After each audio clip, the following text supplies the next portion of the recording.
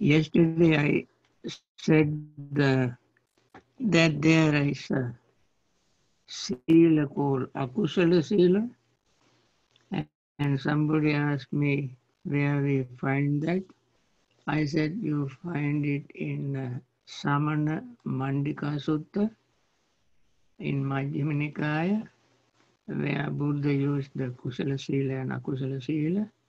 Kusala Sila is the Sila that we all observe to restrain and discipline ourselves. Akusala Sila means unskillful mental uh, ritualistic habit. For example, if somebody thinks if that person lights a lamp every day in the house, that will bring good luck or they will have uh, wisdom because light represent wisdom. By lighting a lamp or candle or oil lamp, uh, they might think that will bring them wisdom. And there are many such uh, rituals people observe as a habit, and these are called unwholesome habit and akusala sila. Uh, friends, it is uh, the list is very long. I just give one simple example many people do many different things in the name of uh, Dhamma, uh, thinking that they, that would uh, liberate themselves from uh, samsara. And that is uh, a ritual which and they attach to them. So that is one thing the Buddha discouraged. And uh, so long as people spend time on that, their attainment liberation will be retarded or will go away. Then the, the fourth uh, fetter, I was talking about fetters which are supporting ignorance. So ignorance, ignorance arises depending on these uh, fetters and there are underlying tendencies, then uh, uh, also influxes, then uh, hindrances and fetters. They all uh, support, fetter supports everyone, every state of uh, defilements, and they have, uh, there are three stages the underlying lowest stage is Anusaya stage. Uh, Anusaya is sleeping with the uh, subconscious mind. The subconscious mind is not a Buddhist term.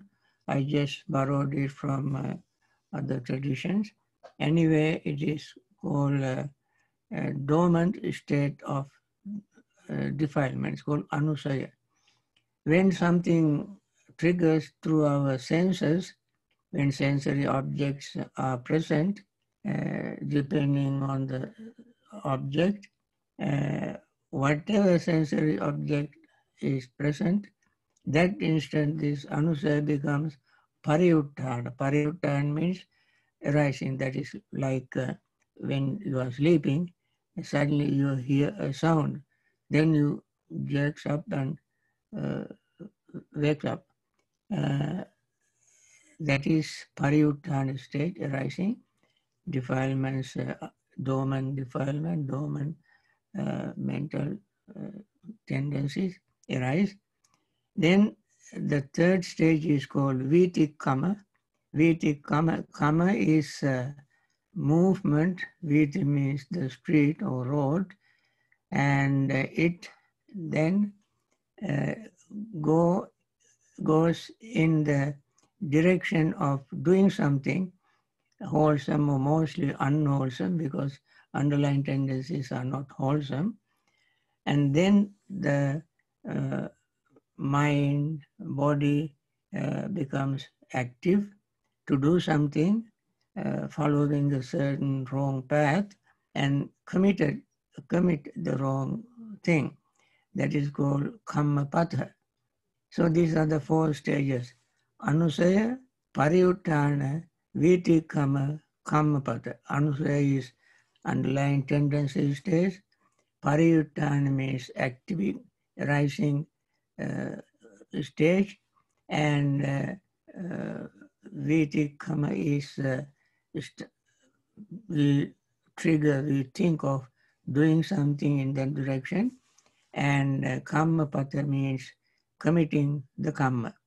So karma, therefore, begins from such a deep level and manifests through our thoughts, words, and deeds. And therefore, they all have uh, li- are linked or connected uh, with each other. So, uh, is one strong stage just after uh, Anusaya. Anusaya. So then Pariuttana stage, you start, uh, becomes active. You will see this very clearly in your mind. Then thinking of doing something even more clear, and then doing it even clearer, the final stage. So all these are related. Then the fourth uh, uh, is called the fetter of uh, greed. Of course, this is most uh, commonly spoken uh, mental state. Uh, everyday language, they use the word greed. it is it's a definitely a fetter, also called desire, that uh, is uh, uh, that is that binds uh, individuals to other various things. It is so powerful and so strong, deeply rooted as uh, Anusaya, uh, fetter, hindrance, and then using it in our activities. And therefore, it is one of the last things that uh, even anagami, one who attained the third level of enlightenment, destroys. Uh, it is uh, its residue uh, remains as uh, uh, conceit, restlessness, worry, and all these are very uh, subtle underlying uh, mental states uh, among uh, fetters. Uh, so therefore, even in that stage, greed is there. That is why one has uh, the last fetter called ahankara, I consciousness, believing in the existence of some shade of I somewhere in us uh, until we attain full enlightenment. This goes. And that is why the Buddha said in uh, uh, Mahasatipatthana Sutta, uh, Tassayeva Tanhaya Asesa Viraga Nirodho Jago Patinissaggo Mutti Analayam. Several words he used to explain uh, the way how this defilement, this greed, is should be dealt. Uh, Asesa virag nirodho, complete cessation without remainder of greed, jago, abandoning, mutti, liberation, analayo, not clinging, uh, mutti analayo. these are the stages of destroying the, the, greed. So people, as may I mentioned in the past, uh, since they have ignorance and I, uh, I ask people not to get upset with me when I mention the word ignorant. Everyone who is holding on to desire in what form, what size, doesn't matter, is ignorant. Ignorant of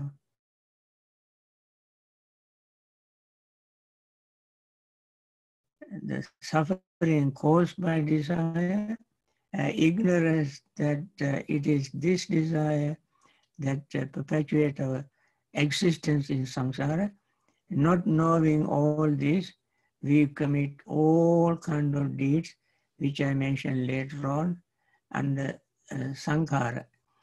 For now, I simply wanted to mention as a passing note uh, under ignorance, uh, greed, uh, as a supporting factor, nourishing factor of ignorance.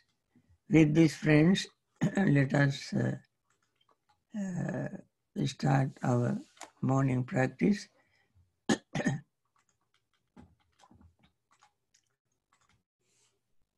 Okay. Let us begin our practice. May all beings be happy and secure. May all beings have happy minds, whatever living beings there may be, without exception, weak or strong, long, large, medium, short, subtle or gross, visible or invisible, living near or far, born or coming to birth, may all beings have happy minds, let no one deceive another, nor despise anyone anywhere, neither from anger nor ill will should anyone wish harm to another. As a mother would risk her own life to protect her only child, even so towards all living beings, one should cultivate a boundless heart. One should cultivate for all the world a heart of boundless loving friendliness, above, below, and all around, unobstructed, without hatred or resentment, whether standing, walking, sitting, lying down, or whenever awake, one should develop this mindfulness. This is called divinely dwelling here, not falling into erroneous views, but virtuous and endowed with vision, removing desires for sensual pleasures. One comes never again to birth in the womb. These are our daily practice of metta and we very earnestly want to wish that all beings be very happy and peaceful. This is a wonderful, heart-warming, benevolent, wholesome thoughts. These we have to cultivate within us and share it with everyone, especially those who are suffering these days due to this virus. And we started this whole practice of meditation purely because of those individuals. Not that we should practice only during that time, we should practice it always, as Buddha said in the discourse, whenever awake. With this metta thought in mind, let us begin our practice. We focus our mind on our breathing. Pay attention to the in to inhaling as inhaling. Pay attention to exhaling as exhaling. Notice inhaling and exhaling as a pause between them. And then as you pay attention to the breath in this way, you certainly feel the breath and you perceive the breath. You pay attention, deliberate attention to breath and you are conscious of the breath. These five I mentioned several times are the simplest or most simple way of uh, expressing five aggregates. Five aggregates, even if you try to find it in some other ways, you will see only feeling, the, the breath, feeling, perceptions, thoughts, and consciousness. I put them in a very practical way. As we pay attention to them, we notice them constantly changing. As we breathe in, all the five arise. As we breathe out, all of them pass away. And new feeling, perception, and so forth arise when we breathe again. As we breathe out, they pass away. In fact, we even don't have to breathe in and breathe out.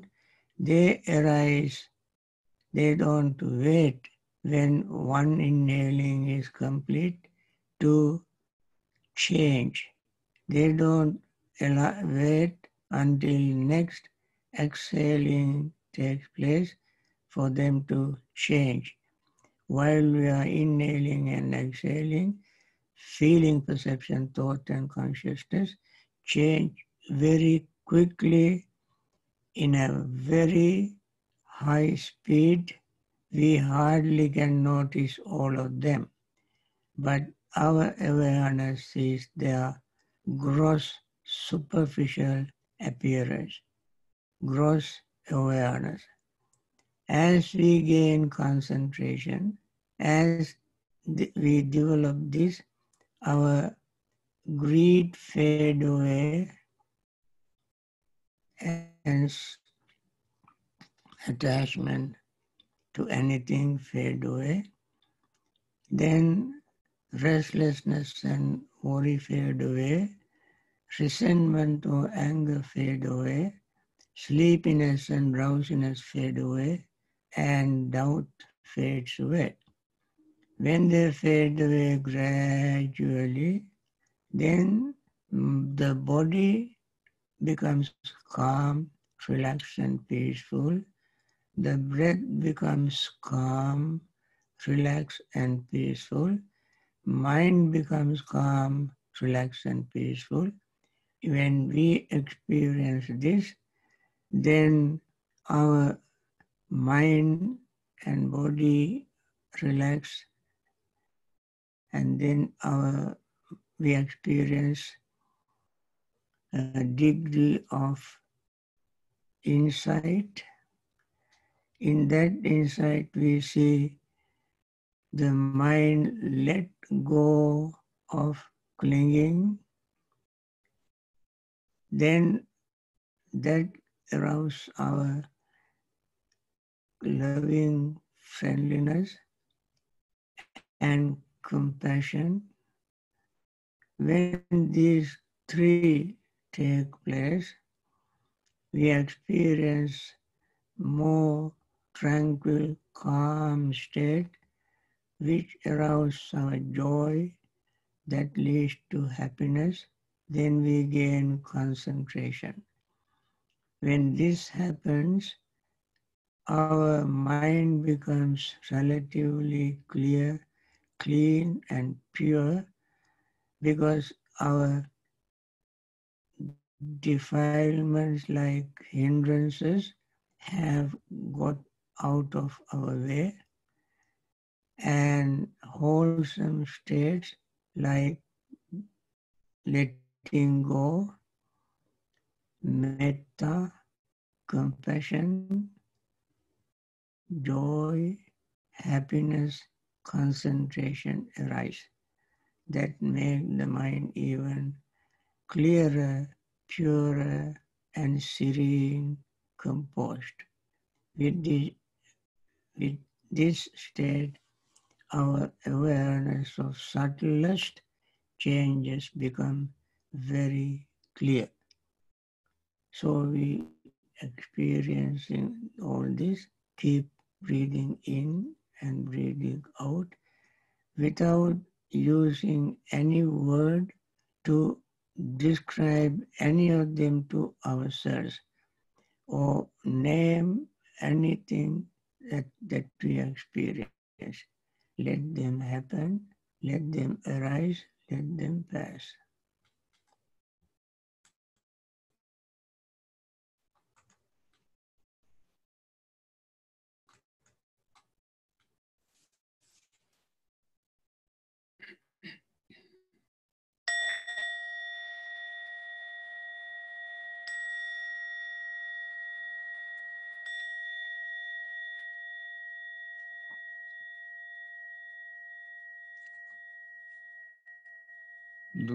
दुःखपत्ता च निर्दुःखा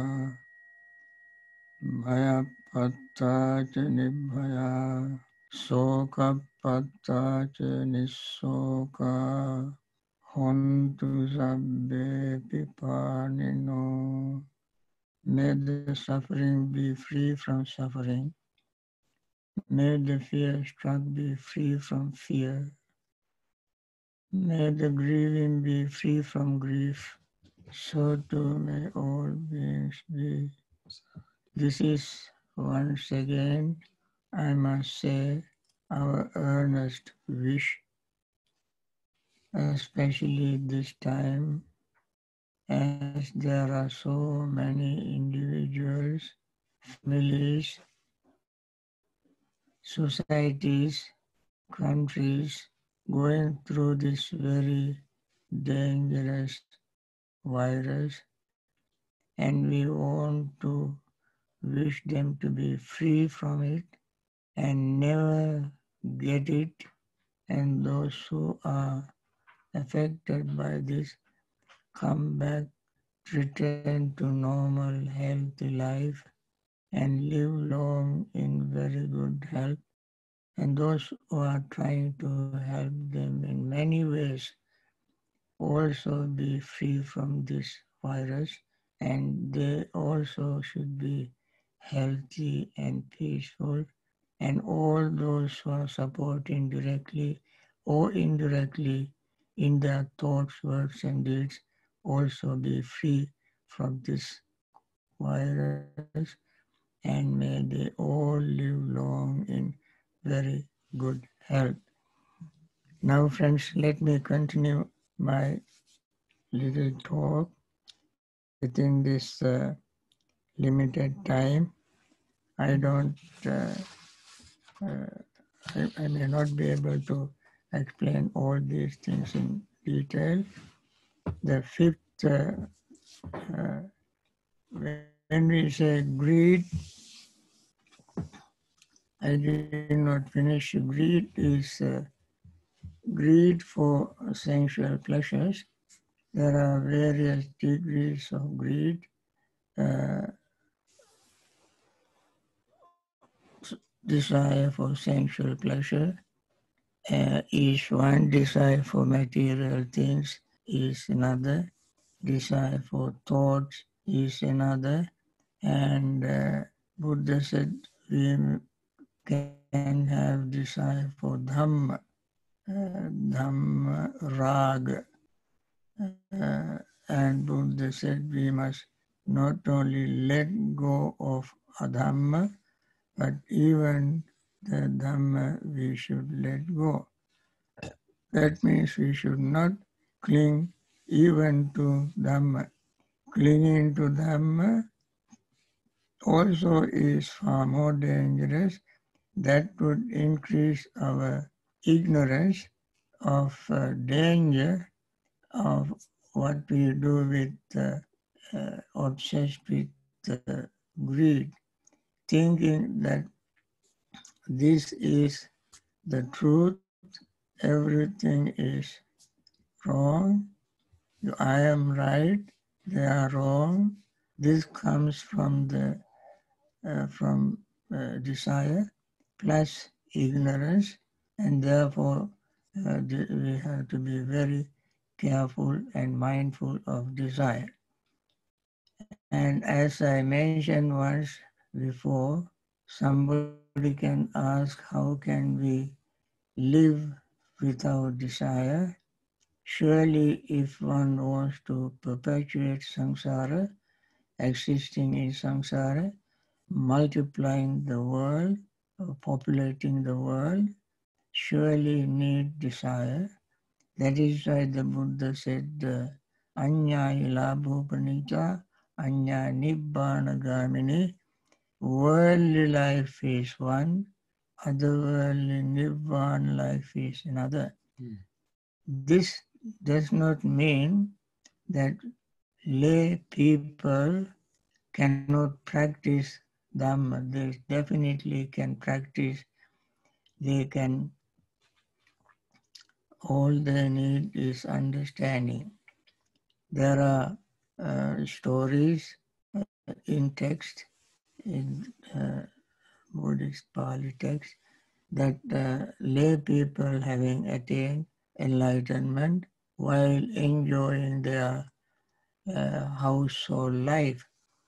Uh, there was, uh, I, just for you to remember, I tell you little story. Uh, there was a, a, woman called Miguelandeka. Uh, one day she invited Venerable Ananda and uh, for lunch after lunch she asked him, uh, Venerable sir, my father, uh, Purana is my father's name. When I was born, he uh, began to observe celibacy. When he passed away, the Buddha said that he has attained the second level of enlightenment, Sakadagami, the stage called once returning stage. And then my uncle, my father's brother, Isidatta, uh, did not give up sensual pleasures. He lived a household life enjoying sensual pleasures. When he passed away, Buddha said that he too had attained the second level of enlightenment. What I cannot understand, Venerable Sir, is how come both of them attained the second level of enlightenment. One in celibacy, the other not practicing celibacy. Then Venerable Ananda could not answer this question. He uh, confirmed her reply, her understanding, and said that, that is what the Buddha said. So he returned to the Buddha and asked uh, him, how can this be, uh, how can these two be? Then Buddha said, uh, Purana was a very uh, pious, faith-oriented person. Faith-oriented person observes uh, uh, celibacy and uh, makes his mind calm without having any agitation, excitement uh, in sensual pleasures. And therefore he was able to attain the second level of enlightenment overcoming the first three fetters. And his uh, brother Siddhartha uh, was uh, a wisdom-oriented person. He was wise and he knew how to balance his life, how to uh, practice meditation, when to practice meditation, how to live without becoming attached to his uh, household life. And uh, he too practiced Im, uh, meditation and see, saw impermanence, impermanence in sensual pleasures, danger of sensual pleasures. And yet he was able to, seeing this impermanence, he uh, developed his uh, mindfulness his insight, wisdom, and uh, attain the second level of enlightenment. And that is even though they had desire, they, such people attain the second level of enlightenment. Anatha Pindika, Visakha. Visakha is a very generous lady, very rich woman with lot of saddha, faith in the Buddha Dhamma Sangha. When she encountered the Buddha at the age of seven, she attained the stream entry. Then she married afterward as she grew up and had many children. And therefore, uh, desire has uh, two aspects wholesome desire and unwholesome desire. Unwholesome desire is desire to perpetuate desire. Wholesome desire is desire to be free from desire, desire to be desireless. And that is what anybody can practice, with whether monastic or lay people. Of course, the desire will vanish from the mind only when one attains the third level of enlightenment called anagami. Until such time, people uh, live household life and uh, practice meditation and gain uh, the stages of enlightenment.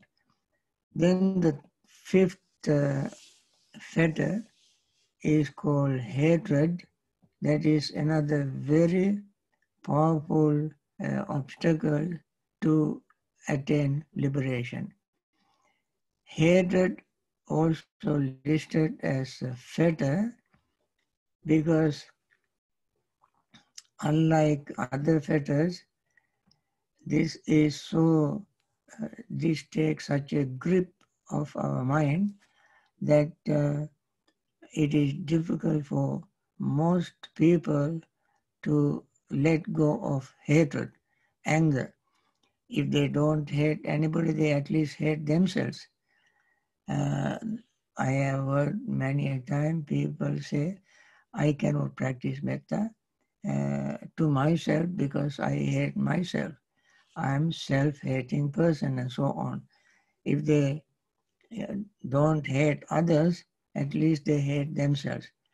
The desire is not like that. Uh, desire we can see uh, that is uh, coming and going and it can be uh, reduced, but hatred uh, can be reduced with great, greater effort uh, and also will overcome or will disappear only when one attains the third level of enlightenment. Hate, hateful uh, state of mind also in our vision, uh, Buddha compared it to a, a, boiling water. On the water, on the one hand, is uh, hot. On the other hand, when it is hot and boiling, you cannot see the bottom and it is very uh, disturbing. And uh, I don't have to explain how hard, how difficult to get rid of hatred is. It, any, it uh, confuses persons and block his uh, mind from seeing and thinking clearly. When the mind is muddled up with the anger, or hatred, his, that person's words are not right, thinking is not right, feeling is not right, and the person will always be burning. And that also is called uh, fire, uh, fire of anger.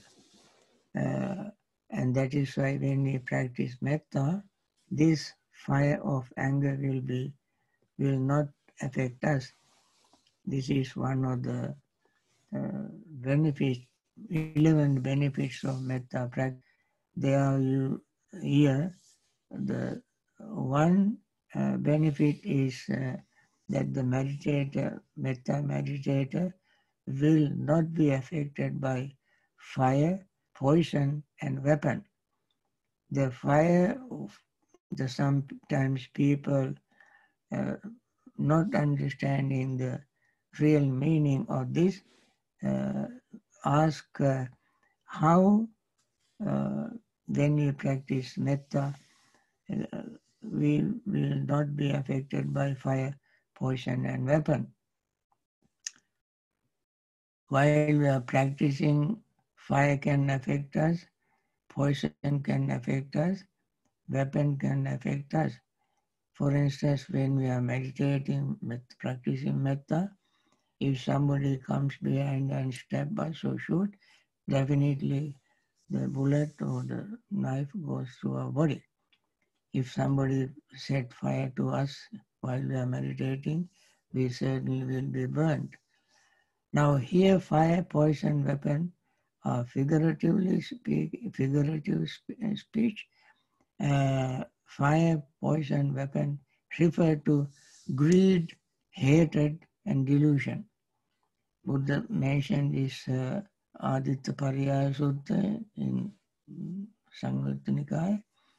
Uh, Ragagna, Dosagna, Mohagna. Raga, fear, fire. Dosa, fire. Moha, fire. Greed, fire. Hatred, fire. Ignorant, fire. So, greed is fire, hatred is fire, and ignorance also is fire. And uh, Buddha said we are burning on this fire every day and uh, blocking our view. So uh, that as fetter, it is very, very powerful fetter. The sixth fetter is greed for fine material existence. People who have the body, uh, they know as long as we have body, we fall sick, we grow old, and uh, we have all kind of aches and pains. This this uh, coronavirus affect us since we have a body, and so for so many things happen to this body. There are many sicknesses. Uh, some can be cured. Some can never be cured permanently. Some cure. Some can uh, have a permanent. Uh, uh can be cured permanently. Some will never be cured permanently. There are six kinds of such sicknesses. When I mention one, you may even laugh. How can that be a sickness? But that is a sickness. It can, it can be temporarily cured, but never permanently cured. For instance, uh, cold. When it is cold, it is cold. You cannot cure it permanently, although you may stay home and uh, have a heat, uh, put in a lot of warm clothes and so forth. But cold does not go away as soon as you get out. Cold is there. When cold season is there, we feel cold. Whenever we feel cold, we feel cold. But temporarily we can take care of it by using warm clothes and fire, warm houses, and so on. Then heat. When it is hot, we feel hot. We feel the heat. And temporarily we can have ACs and so on to get rid of it. But it is temporary measure. But we get cold, we, we get uh, warm, hot again. Then hunger. When we are hungry, we are hungry. And when we eat, hunger goes away. And hunger will never be uh, cured forever. That is why we have to eat every day uh, to get rid of our hunger. Then thirst. Uh, thirst also is like that. Temporarily we can quench it by drinking water, or whatever liquid, and we will be thirsty again. Then uh, passing urine. We have to pass urine. We can never stop it, never cure uh, permanently. And defecation also is yeah, temporarily we can cure by uh, passing, but uh, it comes back again. Like that, so long as we have this body, we have all sort of things. We have to take care of the body and so on so, and so forth. Therefore, some people, when they meditate, they think uh, attaining uh, fine material existence would be better than this gross physical body. So they meditate, hoping with good intention, uh, hoping to get to attain that stage called fine material existence. Rupa Raga. There again is desire. That desire is to exist in a very fine material form, uh, not to uh, worry about taking care of this gross body, they wish to stay at that level. And that is uh, the uh, sixth fetter. I think uh, uh the remaining four fetters I can discuss uh, tomorrow because if I use all of them very, run through them very quickly, you may forget all of them. So let me take it easy and you take it easy and we try to understand. Now still we are talking about uh, uh, dependent origination. The first factor is ignorance.